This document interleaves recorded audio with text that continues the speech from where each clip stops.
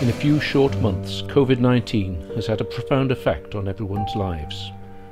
Patterns of working and ways of life have been disrupted, and many have found themselves worse off, and some in extreme hardship.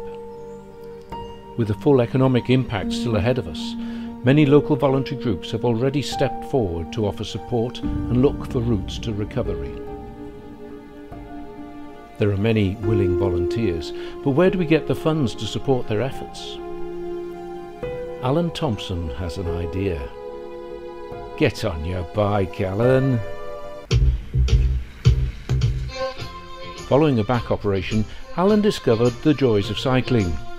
But not just to meander along country lanes. At the age of 75, he's going downhill. Fast. To help raise money for local charities involved in COVID 19 recovery work, Alan will attempt to cycle all 19 of the toughest downhill mountain bike rides in the Peak District, the Enduros. He needs your support. Oh, it's okay, you don't have to join in. You can just watch. Oh, and give money. Alan will be raising funds for Connex Community Support, Buxton's own charity for coordinating volunteer support.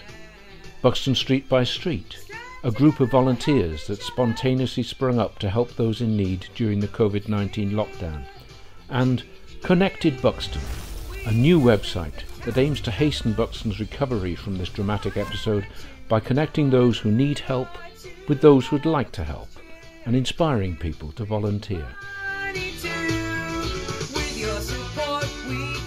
As Alan goes downhill, please support him so that our local community can ride out of lockdown together.